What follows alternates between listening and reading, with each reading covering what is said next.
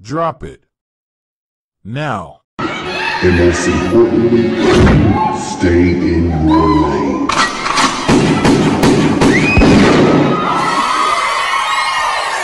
I only have one question. Who won?